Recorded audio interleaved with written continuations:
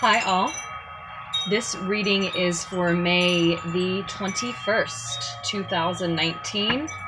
I feel like some truth is going to be coming to light tomorrow. As we are starting with the Ace of Swords on the bottom of the deck, and I am recording on the 20th, actually, the evening before. I apologize again to those of you who noticed that I've fallen off with the I fell off with the lunar pulls there for a few days, but we're getting back to them. I'm so sorry about all of the uninvited noise, loves. Um, I'm just going to lay the cards though, so there's a little bit of annoyance in the background, but uh, we'll just we'll just lay these these cards. We're doing what's covering you, what's crossing you, your recent past, your near future, the root of the situation, and the outcome of the situation. Then we're going to get a couple of advice cards, as we always do for the lunar pulls, and look at the bottom of the deck as well for an overall energy.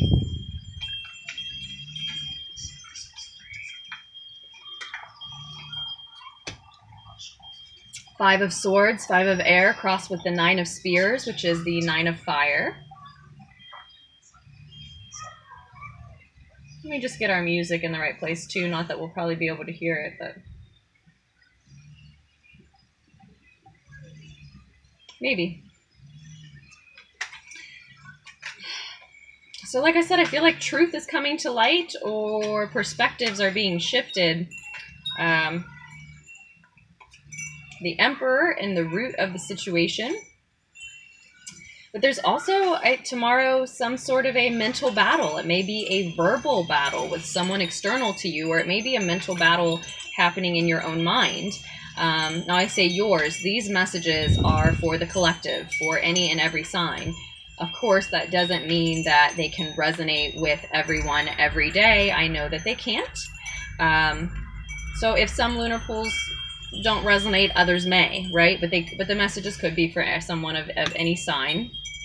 Uh, and we do all have every uh, zodiac energy in our chart somewhere, whether or not we are particularly familiar with our astrological makeup. You've got the world in your recent past, some sort of completion, uh, some type of graduating to the next level of being, or graduating in some way, shape, or form, in some senses, leading to this mental battle, possibly again, verbal battle. For a lot of you, I'm sensing though that it is a mental battle internal within yourselves tomorrow uh, on May 21st, 2019.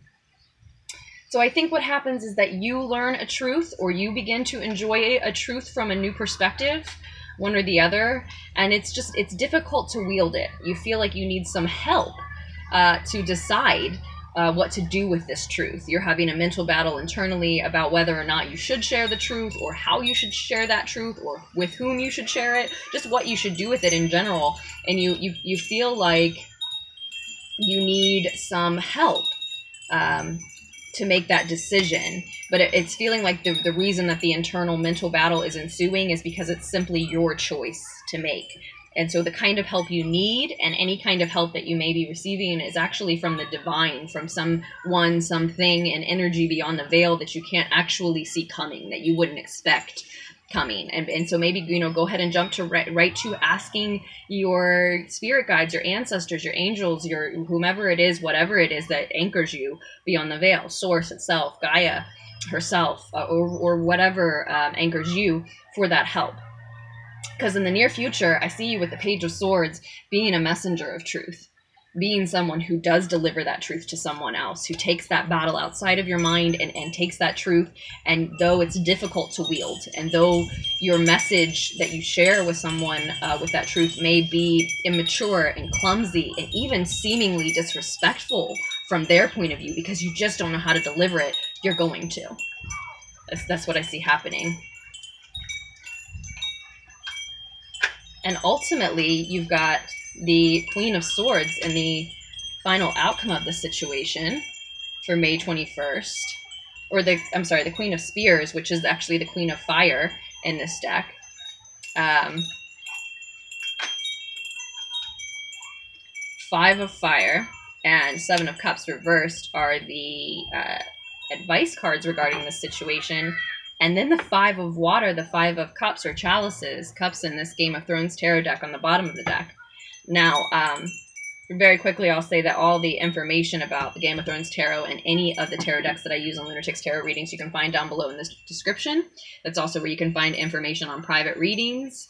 If uh, you like the way I read, if certain parts of this or any lunar pull uh, or any reading of mine has resonated and you'd like a private reading, if that's just the place you're in right now, scroll down. You can find your options, your links, my email address, lunartickstarot at gmail.com. But I will. Um, talk a lot more about this, a little more at least about this message with you guys. Um, just let me uh, let me flip the cards around so you can see them with me while I pull some clarifiers on this situation. Okay, so what I see the potential pitfalls here being for May 21st is when you have a hold of this truth, that like I said, it looks like in the near future you are going to deliver to someone. You are going to carry, to wield, to deliver, uh, probably as a message of sorts of truth as a messenger of truth, right? Um, even if you're clumsy about it, even if you're not sure how to. What I see the pitfalls being uh, to getting to that place in the near future, um, this was actually reversed, is that you may be well, you're confused about your options, what you can do with this truth, what you can do with this perspective. Again, like we talked about, who you can share it with. But also, maybe some of you are overindulging in escapism, drugs, television, sugar, fantasies, anything that is an escape, right? Even things that are great for us need to be had in moderation. Um, this practice, this read, this practice, and so this reading is going to speak from a place of knowing that balance is what we're trying to achieve.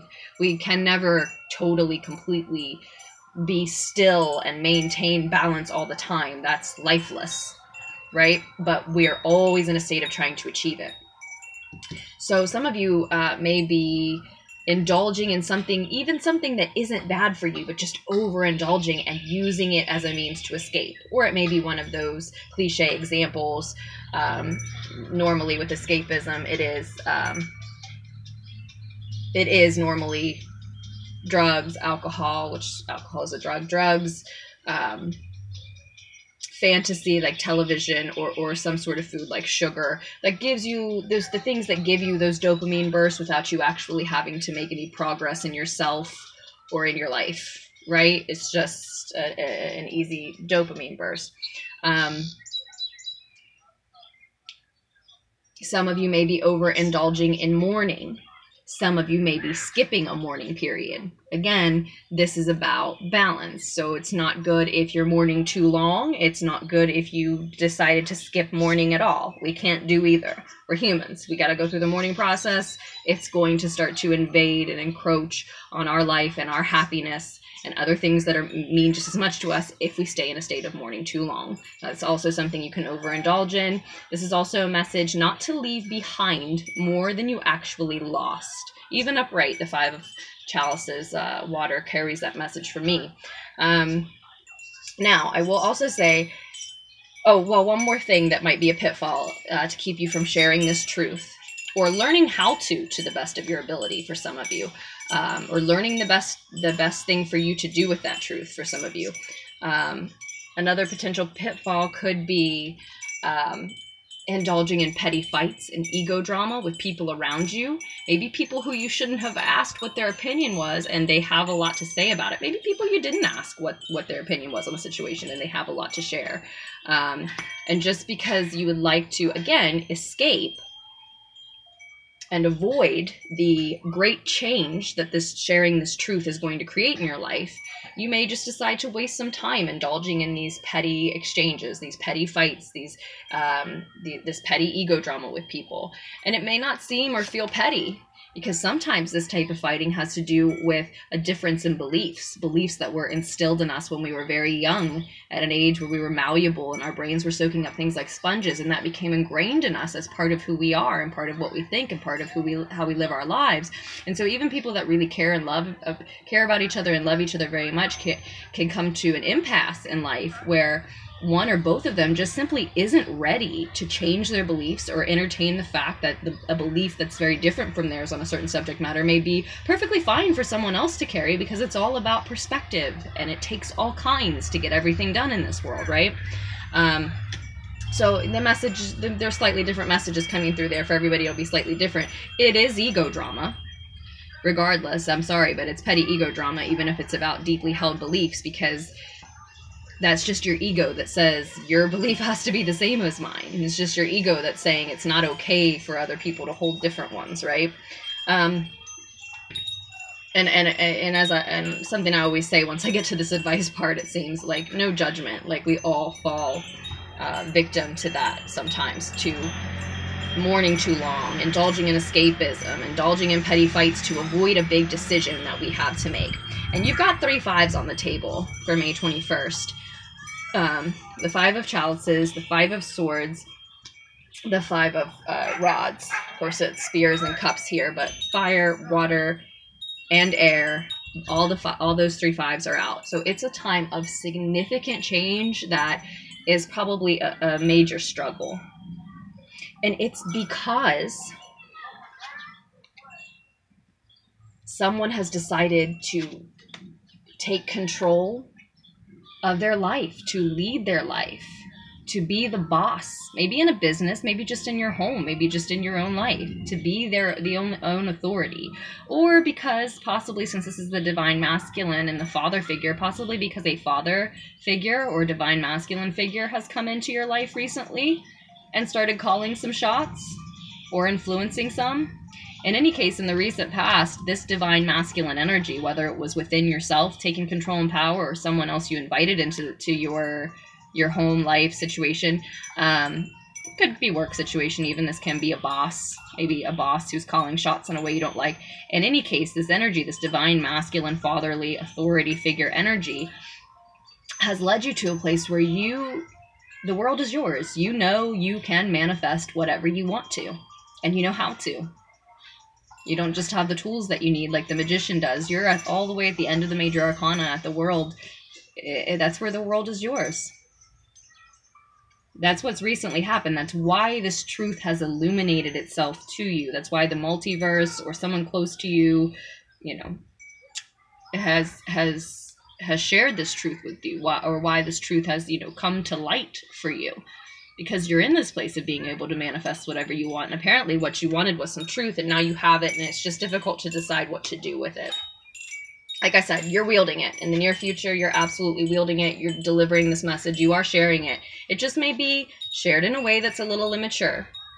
It might be the fact that you've got a new idea for something, you know, because um, that's what that Ace of Swords that we saw on the bottom of the deck can be a new truth, a new idea, a new perspective. It all sort of uh, boils down to a new truth for me, but it can just be a new idea. But it's still, it's, it's something you want to share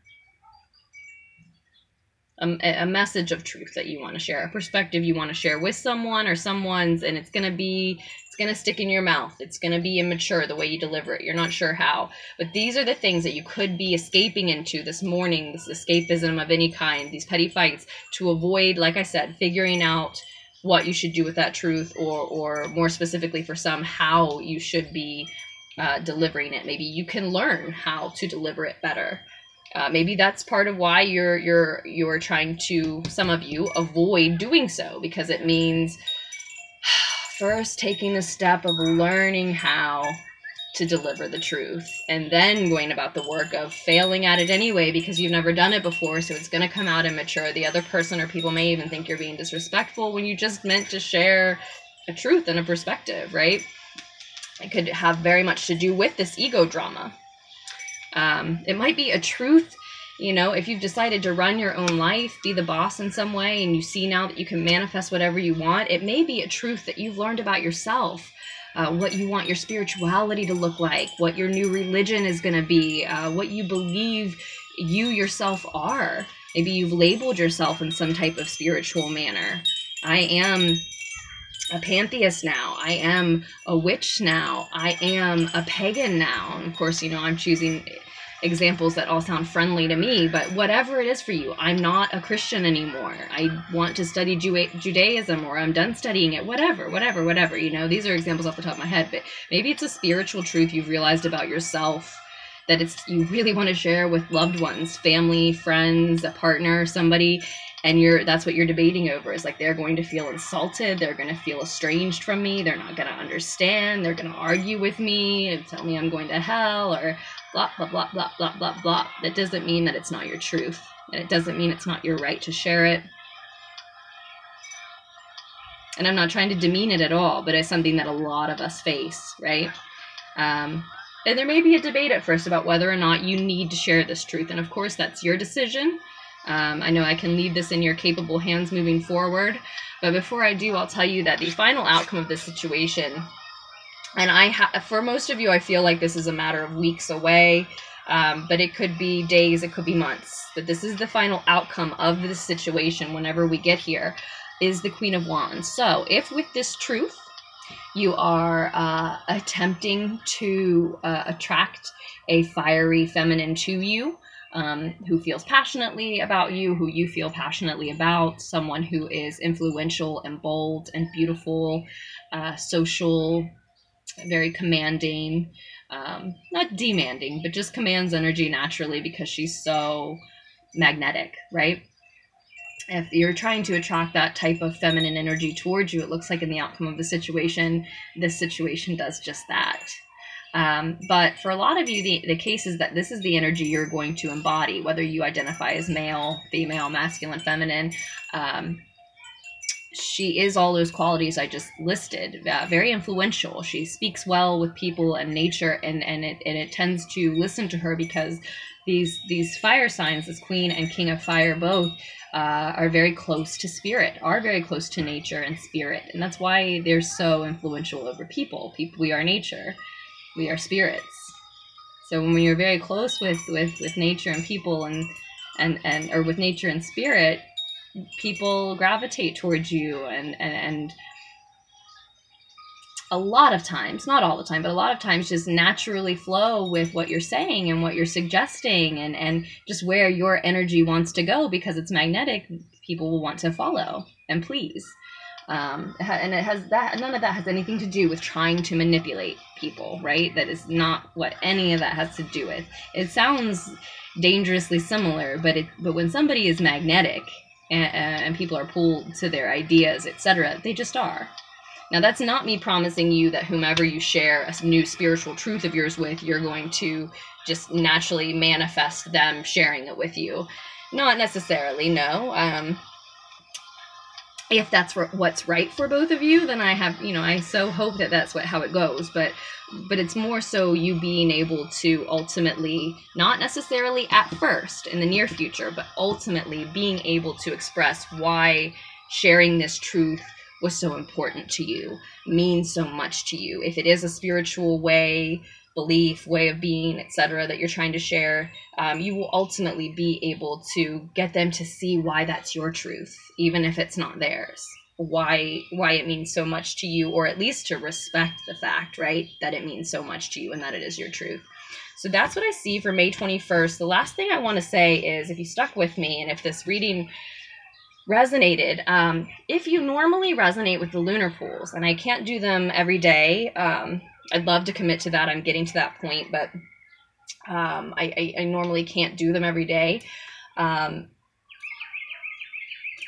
but if you normally resonate with the lunar pulls I do post, or more specifically, it, it, simply if you resonated with the message for May 20th, I have to say I feel and both see and feel a connection here with that reading because I just did May 20th and now I'm just going ahead and recording May 21st a little early, I guess. Um, although this is just more the timeline I just like to be on. But um, if you resonated with that one, the the outcome of May 20th's message was the Empress. And now the root of the situation for May 21st is the Emperor. For some of you, that's not connected at all. But for some of you, it is in a way that I can see and I can feel, but I can't quite understand. I'm sure that if I wanted, if I had the time and I sat down and watched them both back to back, I'd see the connection. But maybe I just wanted to point that out for some of you. If you normally resonate with them, but you haven't watched May 20th yet, if you resonate with this one, maybe go back and watch May 20th. Um, or if you just normally resonate with them, maybe go back and watch May 20th because I, I, see this, I see that connection here with it ending with the mother in the last one and beginning with the father in this one, and I feel it, or I wouldn't say anything. And we're a little over the time that I'm shooting for, but I also feel called to expand in any way we can with an extra piece of wisdom from the Dreams of Gaia Tarot. That extra piece of wisdom is the Three of Water and the Mother card on the bottom of the deck. Now, this this beautiful tarot deck uh, cannot be exactly likened to a tarot deck. It's easier for me to liken it to an oracle deck, but it is called the Dreams of Gaia Tarot. However, it is not the same as a tarot deck. Uh, it has more major arcanas than a tarot deck. Um, it has 81 cards because of the extra major arcanas. And if you flip through this gorgeous, insightful, amazing guidebook that you're provided with in Dreams of Gaia Tarot, uh, when you get the Dreams of Gaia Tarot, you'll see that a lot of the descriptions differ as well. So it, it, it is hard to liken the cards exactly to a tarot deck, right? But as I'm giving you that message about the father and the root of the situation being connected to the fact that the mother's in the outcome in, in May 20th message, then the mother's on the bottom of the deck. So, you know, I'm not going to go through and read um, the, the, mother card as well because it'll take long enough to look at the Three of Cups that came out. But I, I, again, just it just emphasizes me. To me, it emphasizes that you should um, definitely check in with yesterday's reading as well, if this one resonates. If you if you feel and see that connection too, I guess. Quickly, let me look at the Three of Water for us. Six of water, five of water, four of water, three of water. Free yourself of unrealistic expectations on May 21st, 2019. Allow the outcome to manifest freely. Okay. She's positive, this character, hopeful. Um, turns to greet the future with anticipation and excitement. Be proud of what you have accomplished. Do a victory dance. It is important to allow yourself these moments of joy and celebration and to remember them. So that's a lovely addition, even just from my understanding. It may resonate even more deeply with some of you who are in this situation, um, but that's a beautiful addition just from my perspective. Uh, that regardless of the, this ego drama, uh, the sadness you feel that maybe somebody doesn't know who you are and it's hard for you to, to to share your truth with them or even that you had to lose people to get to this point or, or prior to this point. Um, the struggle that's happening for this change to occur to your life in your life these mental battles these verbal battles maybe um, this this longing for some outside help even from the divine that you can't see right? Through all that and in trying to share your truth let us not forget that the reason that this brilliant truth is here to be shared is because you've truly accomplished something. You've learned something about who you are and what you want your life to look like. And it's it's so true it's so real that now there's a struggle of shoot i got to figure out how to share this with the people who care about me. Yeah that can be a struggle and you can engage in this with the struggle portion of it or you could do a victory dance and hold a celebration for yourself in spite of anyone else's opinion. Because you you've really found a piece of yourself here. You know what you want part of what you want your path to look like where you want it to go. And that my dears deserves some celebration. So when when people when and if people do come at you with how can you say this? How can you believe this? How can you tell me this? Uh, this is what's going to happen to you now because you think this or because you're saying this. Just smile at them and start doing your victory dance. Honestly, show them the joy that's in your heart because you know this is who you are. If that's, you know, if that's how that truth re- resonates with you. I hope that the needed insight that this reading had to offer was able to reach you. Um, and if today's lunar pull didn't resonate with you, I do hope you'll check back and see if another lunar pull resonates with you. I told you about the private readings uh, already. Um, as always, thank you all for all of your support. As always, I hope you make wise choices for yourselves moving forward. Don't feel boxed in or determined by anything you see here in this snapshot of the path that you're on now.